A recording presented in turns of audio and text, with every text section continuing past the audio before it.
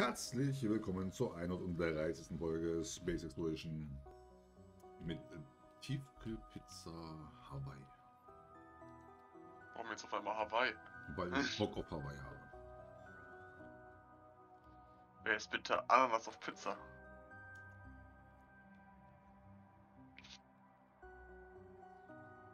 Schön, dass ich pinkel mir gerade selber ans Bein. Ups. Jetzt redet er nicht mehr mit mir, oder wie? Moment, Moment. Ich muss gerade noch meine äh, Tiefkühlpizza essen, oder was wird das? Anscheinend. Nein, nein, nein, nein.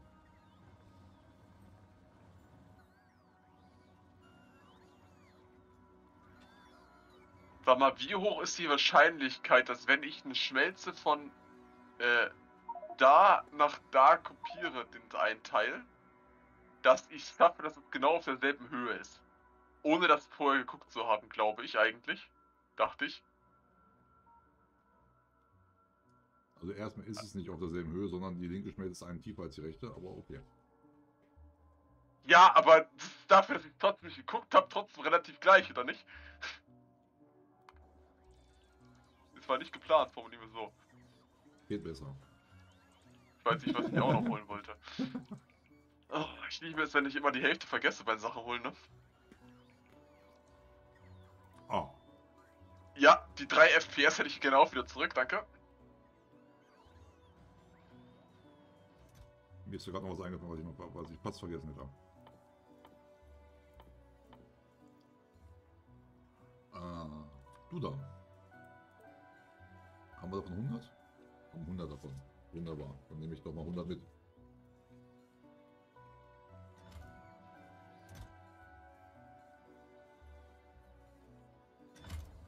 Also ich habe inzwischen sechs äh, Raumkapseln, neun Frachtkapseln und äh, ich suche noch. Wo sind denn die anderen? Ja, ist denn die? Da. 228 Frachtraketenbauteile. Super. Das heißt, ich kann sagen und schreibe zwei Raketen schicken. Woo! Vier- Aber mir fehlen Raketen. 416 äh, Frachtraketenbauteile. Also hast du schon doppelt so viele Raketen, wie ich zu dir schicken lassen, gut? 13 Raumkapseln. Ja, merkt man daran auch, ja. Hm. Ja.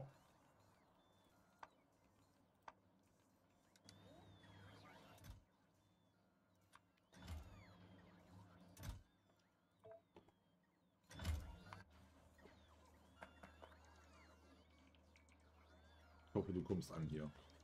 Das wäre echt mega geil.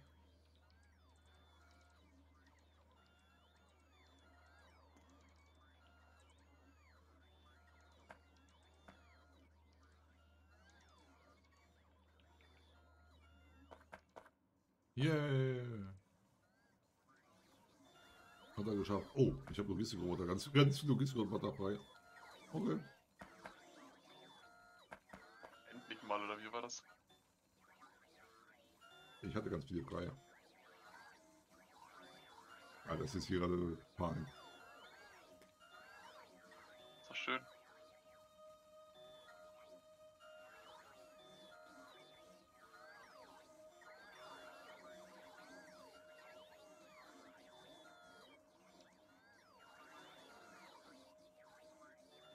Äh, ich sehe nichts mehr.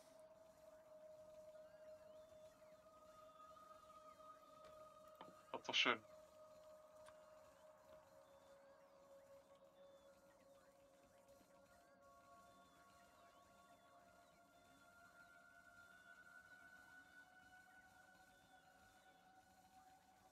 Komm, 12 noch. 10 noch. 8 noch. 8 noch. 8 noch. Immer noch 8 noch. Immer noch 8 noch. 4 noch. 4 bitte. 4, 4, 4, 4. 4 bitte.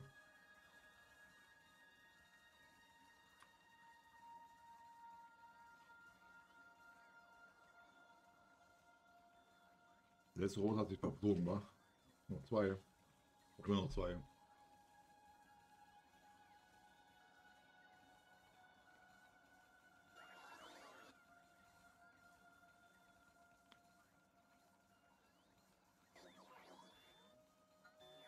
City verflogen.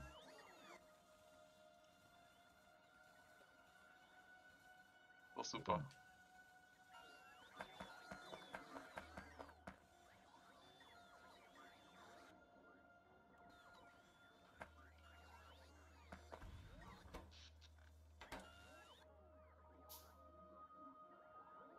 Könntet ihr bitte da unten mal das Ding jetzt fertig bauen, damit ich da weiterbauen kann und da auch weiterbauen kann? Nicht wirklich ungerne.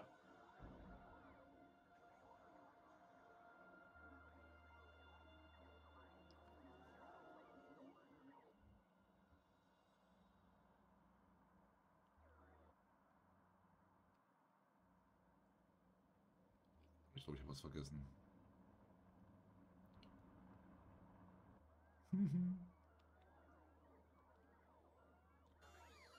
Das wäre grundsätzlich jetzt sehr schlecht, wenn das jetzt vergessen hätte.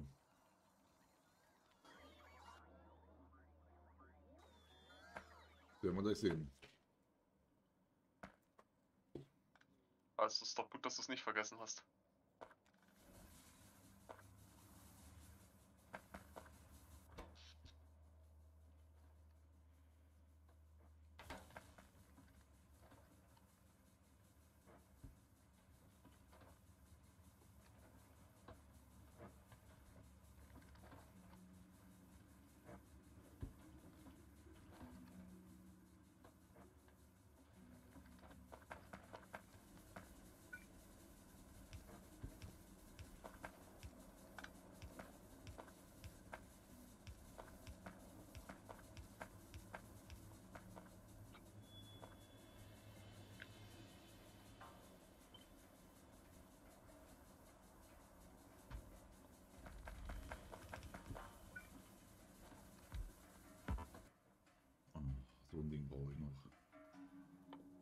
Eins, zwei, drei, vier, fünf, sechs, sechs.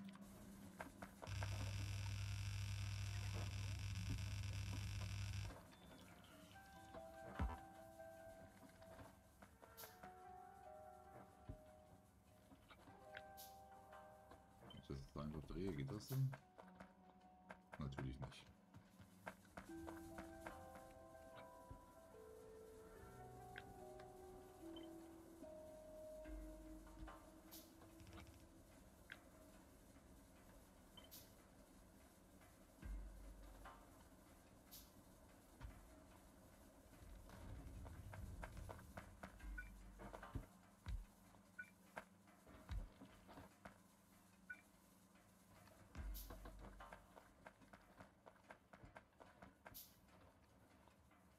Da hinten kann aber auch. Den wollen wir, den wollen wir auch nicht.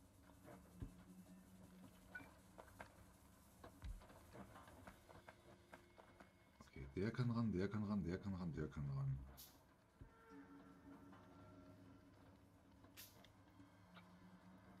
So, jetzt müssen wir diese ganze Anlage gucken, dass wir die kopieren können.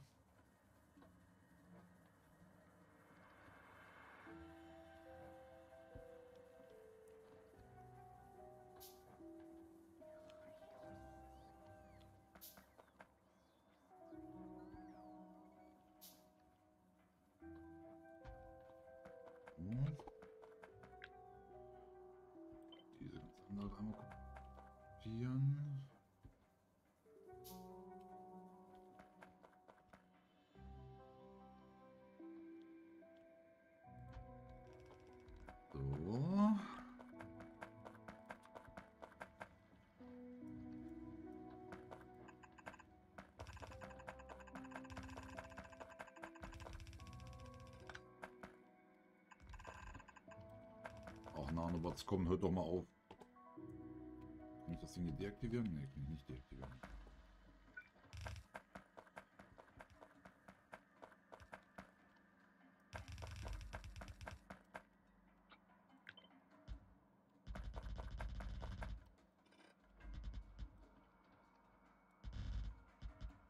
Oh ja, Mann. Gut hier wieder mit Treffen, ey. Super.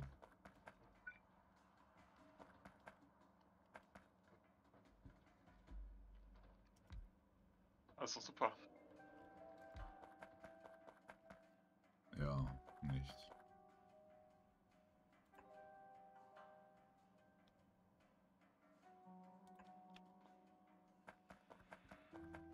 So, das Ding brauchen wir.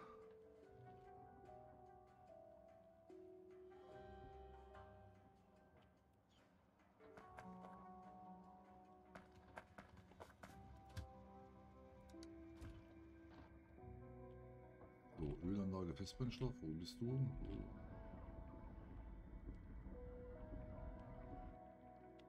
Oh, der Festbrennstoff ist äh, voll.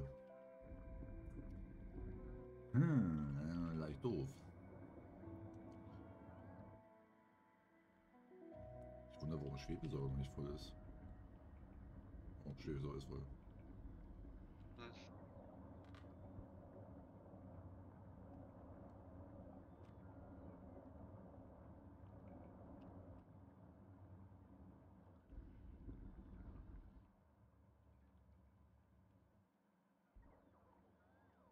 Hm. Interessant. Oh. Scheiß Autosee. Nee, das ist alles dein Rechner, weißt du, das liegt nicht am Autosave.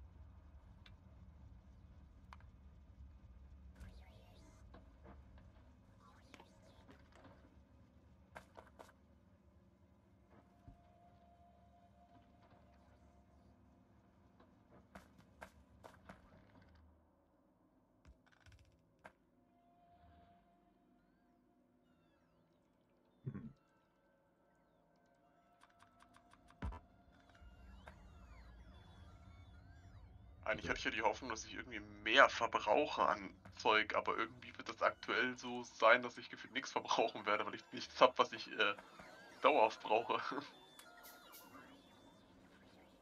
Schade. Hm. Okay. Naja, was brauche ich denn hier oben aktuell dauerhaft? Nichts. Gut, das ist richtig. Das ist ja bei mir ähnlich. Wenn ich jetzt hier irgendwo anfangen würde, einen, einen festen Verbraucher reinzubasteln. Dann würde das Ganze hier deutlich besser funktionieren, ja. Was? Ja. Oh, schön. Ups. Alles klar, danke. Ciao. Hast du Haustür aufgelassen oder was? oh Mann, ja, ich habe mein Haus hier oben gelassen. Okay. Warum? Vergesslich. Hast noch ans Essen gedacht. Ja, wahrscheinlich. Aber schön, dass sich meine Nachbarn Gedanken machen. Oh, ich habe auch gesagt, oh, eigentlich eine Wohnung frei. Ja.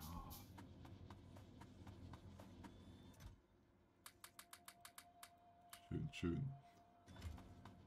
Tja.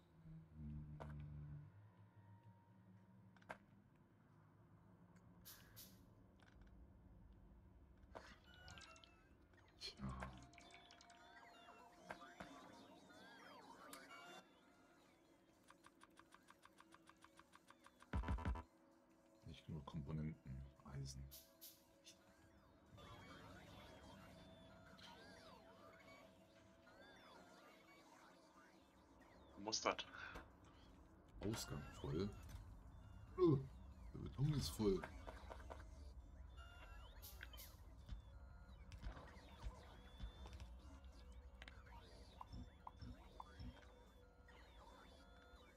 Ist auch super. Ähm. Ähm. Ähm. Ähm. ähm, ähm.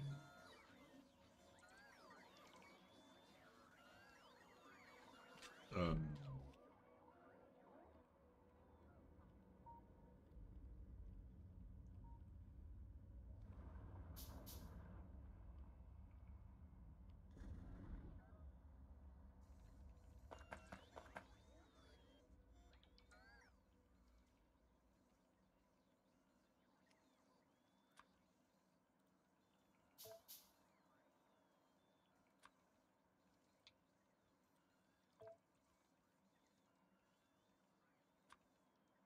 Aber was machst du da oben schon wieder? Warum ruckelt das?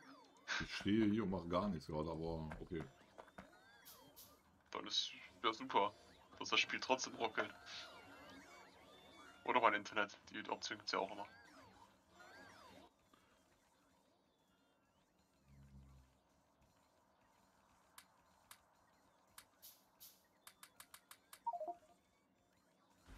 Immerhin hole ich jetzt endlich mal äh, Eisenplatten das erste Mal ab. Okay, was machst du mit? Öl. Alter, Felix. Damit kann ich aber Schmelze Eisenplatten endlich mal von meiner Liste streichen. Ah, ich muss jetzt mal gucken, wie ich das jetzt hier. Ich brauche.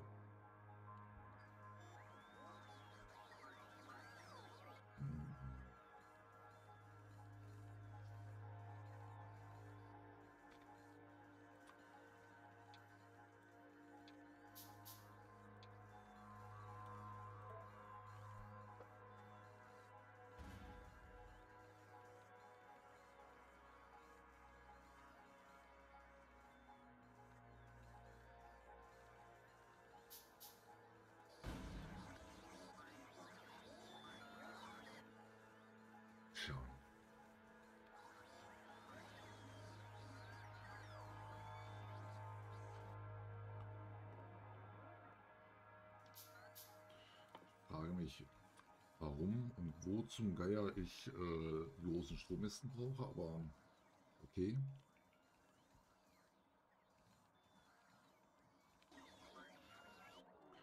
Das, kann das sein, dass wir deswegen nicht weiterbauen?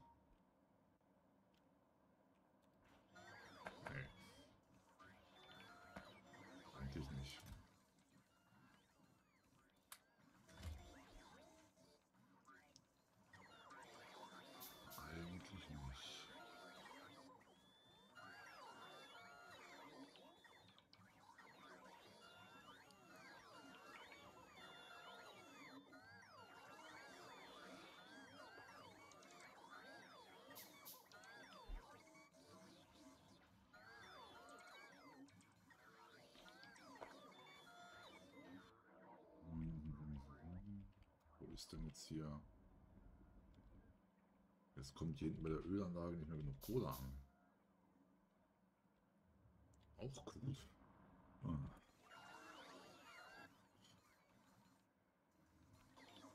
Kenn ich. So langsam werde ich wahnsinnig. Ich muss mal hinten gucken, ob ich da noch irgendwas verbessern kann. Oder beziehungsweise woran das jetzt hier vorne scheitert. In der Anlage. So, du arbeitest nicht mehr, weil du hast nicht mehr genug von... Ach so, hier kommt... Ach was. Hier kommen zu wenig Kernfragmente an.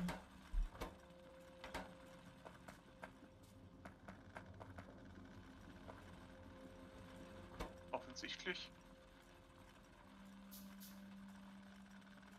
Kernfragment Beryl.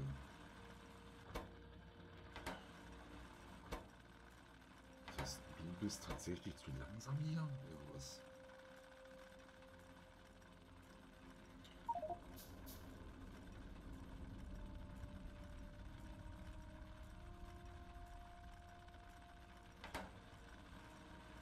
Herstelltempo 3,6. Und du hast ein Herstelltempo von 3,3. Wieso schaffst du es hier mehr? Aber zwei Dinger gehen nicht, ne? Nee, zwei Effektverteiler gehen nicht.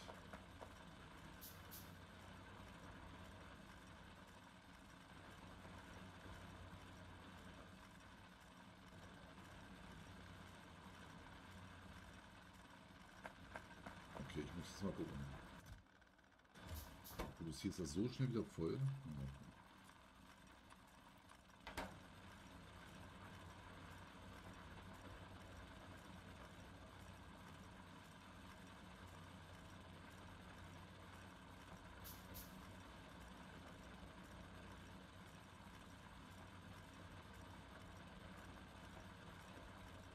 Ich dieses Erz abbaue, ne? Welches jetzt das Kernerz? Ne, das Beryllerz zum Beispiel. Wenn du das Beryllerz abbaust, dann ja. Das ist ja dann wirklich zehnmal Beryl, was da rauskommt, ne? Äh, Wenn du es vom Erzfeld runterholst, ist es ein Abbauvorgang, haut ein Erz raus. Also Das- das stinknormale Beryllerz wäre das dann. So, das Wie im heißt- Eisenerz oder was weiß ich, Erz, ja. Genau, weil die hauen die würden, das müsste dann im Pulverizer, das heißt, es wäre der Schritt hier.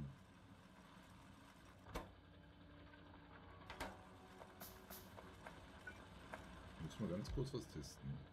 Oh, sorry.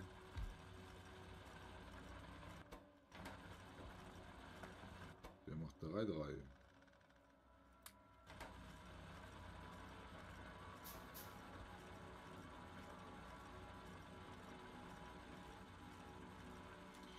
Ach so, das heißt, mit der Produktivität könnte man das theoretisch schon mal steigern. Ne?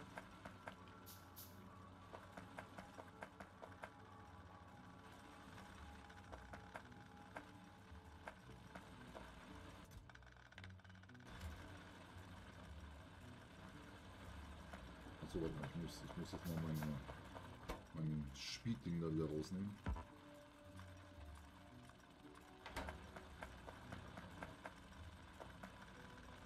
Und jetzt die Begrenzung. Da.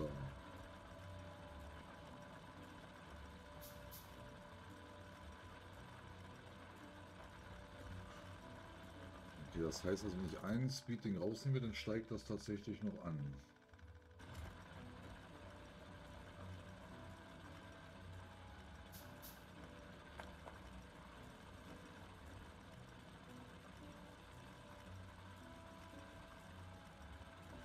Kriegen wir noch bessere Effektverteiler?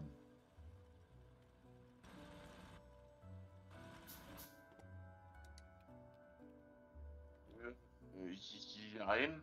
Ja, doch. Großbereich Effektverteiler. Ja, wir bekommen sie, aber ich habe keine Ahnung, ob die auf den normalen Weltplaneten auch platziert werden können. Das ist das Problem. Und der kann dann 15 15. Plätze oder 20 beim Upgrade. 14 Felder Reichweite. Aber hat die gleichen Effekte, dass du halt, wenn du mehr als einen ransetzt pro Maschine, dass es überlastet.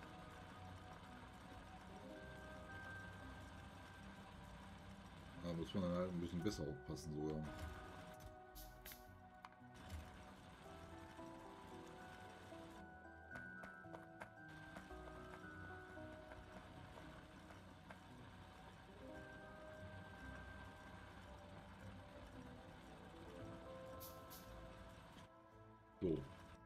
Bräuchten wir denn? Oder was, was würde uns jetzt fehlen zum Beispiel zu den, was wären die nächsten Wissenschaftspakete? Die Energiewissenschaftspakete wahrscheinlich, ne? Also, ich kann ja mal zusammenfassen. Wir sind an dem Punkt, wo alle Wissenschaftspakete auf dem gleichen Stand sind. Also, nach Raketenpaket sind alle am selben Punkt. Das heißt, es ist nicht wirklich das das erste, das ist das zweite. Da hast du halt dann so Prioritäten, musst du dann setzen danach, was du als erstes erforschen willst, so grob. Es gibt zwar die dunkelblauen sind am einfachsten herzustellen und ohne auf andere Planeten zu gehen. Also hätte ich die in Anführungsstrichen als erstes gesagt. Die produzieren wir ja auch schon. Und dann äh, muss ich einmal kurz gucken. Die dunkelblauen. Äh, dunkelblauen, ja. Da haben wir auch schon mit geforscht. Ich weiß nur nicht, ob ihre äh, Labore oben auf dem äh, Orbit aktuell funktionieren könnten, weil ich Greifarme auch mal zwischendurch weggerissen hatte. Ja, ich habe bei Gelb welche weggerissen, weil äh, du ja Dingsens geforscht hattest, Roboterzeug. Und wir die Flaschen oben nicht unbegrenzt haben von den Gelben. Mhm. Blau haben wir oben aktuell schon produziert.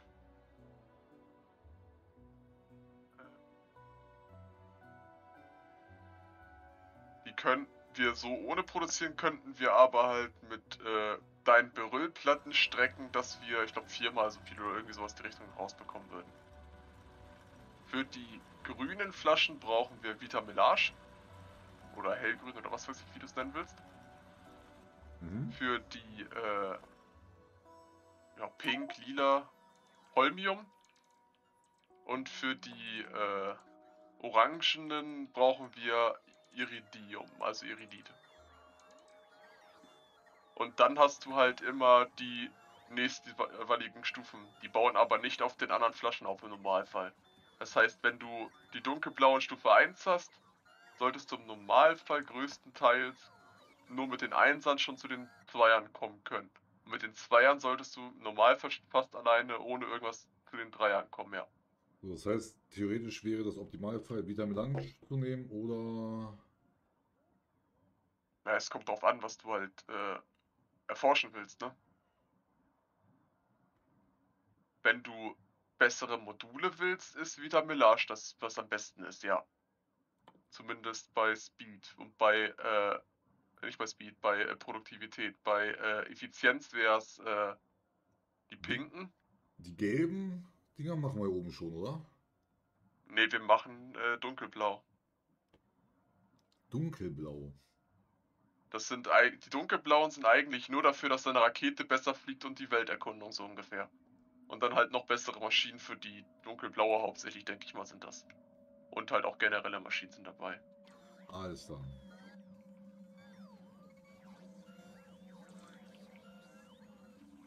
Aber am schlauesten ist, gibt es glaube ich hier nicht so richtig hundertprozentig. Da kommt es halt darauf an, was du haben willst. So. Also von der Theorie her wäre es vermutlich nicht mal ungünstig zu sagen, dann auf das Raumschiff irgendwie zu versuchen hinzukommen. Das ist aber halt den dunkelblauen Strang noch ein bisschen lang forschen weg, so ungefähr. Dass du dann halt zu den Zweierpaketen von dunkelblau kommst und dann zu den Dreierpaketen und dann kommst du auch schon zum Raumschiff. Okay. Das wäre ja strategisch gesehen, glaube ich, gar nicht mal so schlecht. Hab zwar noch nicht mit dem gespielt, aber ich kann mir ja vorstellen, dass das halt ein wandelndes Ding ist, was dir halt äh, relativ gut viel helfen könnte. Kann ich mir zumindest vorstellen.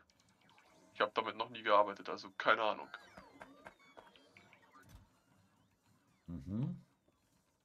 Aber im Endeffekt hängt das alles davon ab, was du forschen willst, worauf man als nächstes gehen sollte, muss, was weiß ich. Für Speed, also wenn du auf Module halt das Auge wirfst, hast du halt Orange für das eine, für Speed, Grün für Prot und äh, Pink für Grün, also Efi-Module. Also danach kannst du dich glaub ich, kaum richten, so ungefähr, außer du willst halt Speed oder Prot nur speziell haben. Wobei wir, glaube ich, genug Iridit oder Iridium schon auf unseren beiden Planeten zusammen haben könnten.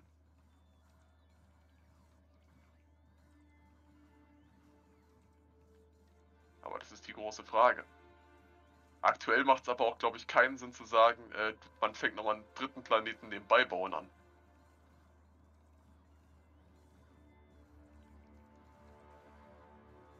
Mhm. Oh, ich habe keinen Strom mehr. Hm, toll. Und ich habe kein Flüssiggas mehr. Bitte was? Wie hast du das geschafft? Ich glaube, ich sollte noch ein paar äh, Leichtöl-Umwandlungen mehr bauen. Ich glaube, da fehlen sowieso noch ein paar. Das, was ich bis jetzt, glaube ich, gesetzt habe, ist grob für das, äh, was ich an äh, Chemiefabriken noch stehen habe. Okay.